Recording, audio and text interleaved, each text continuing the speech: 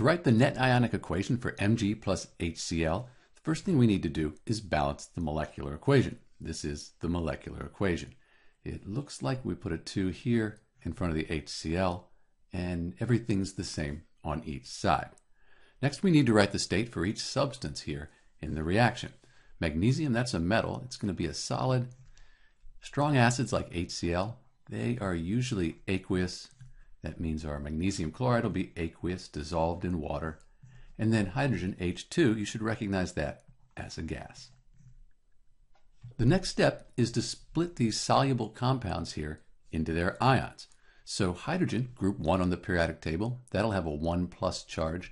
Chlorine, group 17, that has a 1 minus. On this side, magnesium, that's in group 2. It has a 2 plus ionic charge, and remember the chlorine we said was minus. So we have our ions up here. Now let's split this up and write the complete ionic equation. So we have Mg, and I won't write the state here until the end, save some time, plus we have H plus and the chloride ion, Cl minus. On the product side, we have the Mg 2 plus plus the Cl minus and then our hydrogen gas. We need to take into account the coefficients though, that's why we balance the equation. So we have 2 of the hydrogen, the H plus, and 2 of the Cl minus. We also over here, we have 1 Mg, but we have two chlorines. So when this dissociates, we'll end up with these two chloride ions.